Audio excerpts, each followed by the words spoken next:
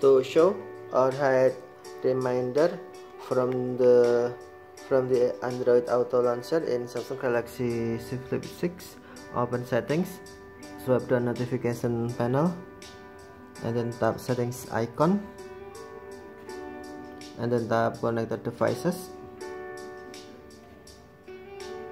Select Android Auto and then tap customize launcher. Next on reminder check to add uh, check to show or uncheck to hide reminders from Android Auto Launcher okay? You can check to show or uncheck to hide reminder from uh, Android Auto Launcher.